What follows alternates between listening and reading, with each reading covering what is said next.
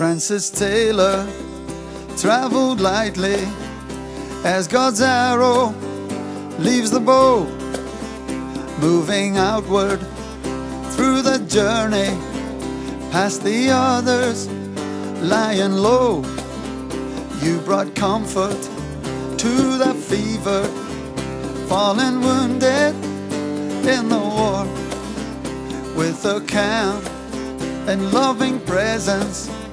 Any soul could feel the glow.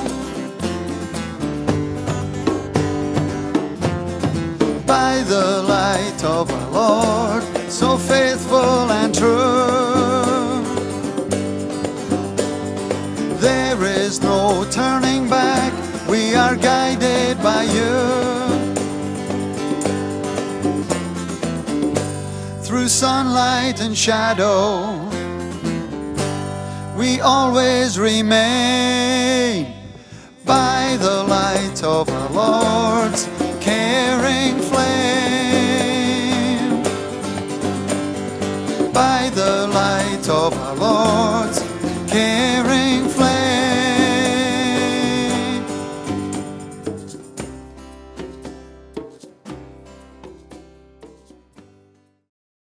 Frances Margaret Taylor, Mother Magdalene, founded the religious congregation of the Poor Servants of the Mother of God in 1872.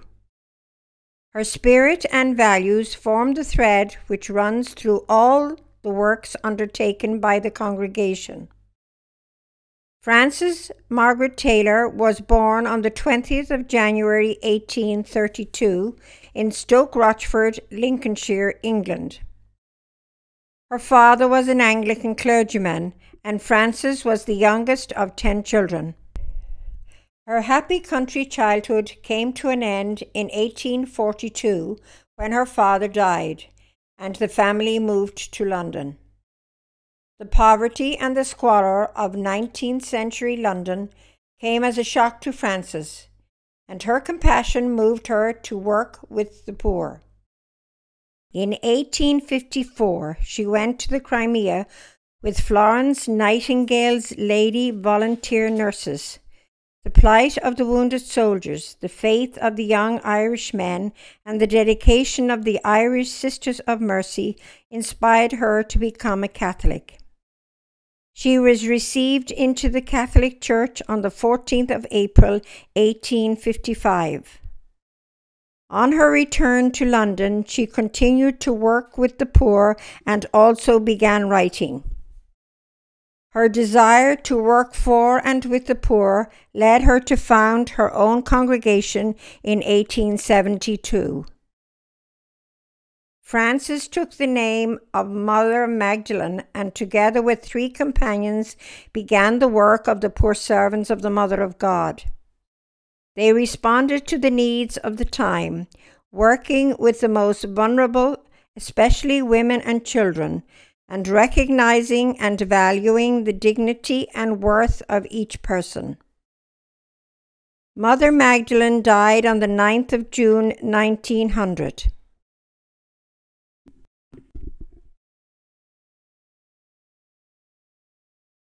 Today, the Congregation of the Poor Servants of the Mother of God continues the work begun by Frances in social, pastoral, health care, education, and outreach work in the UK, Ireland, North America, East Africa, and Italy.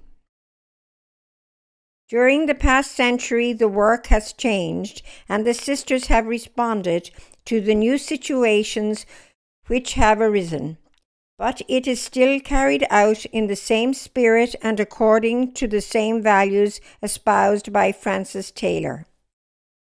Mother Magdalene was declared venerable by Pope Francis on the 12th of June 2014. We now look forward to the day when we can celebrate her canonization to sainthood by the light of our Lord, so faithful and true.